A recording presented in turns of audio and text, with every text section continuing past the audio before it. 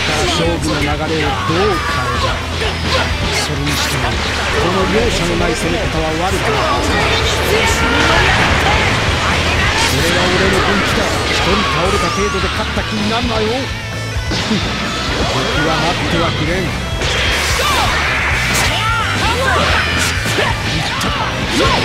それなりにダメージを与えたと言っても決め手には書いた受け止める勇気があるか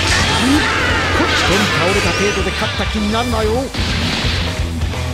度倒れた。くらいのこのざまがまさかやだ宇宙の塵にしてやるこれ至急入院で調子に乗るとは。文句にも程があるだろう。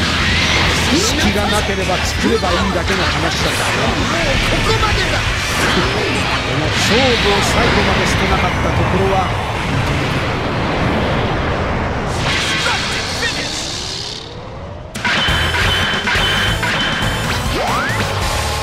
不愉快ですね。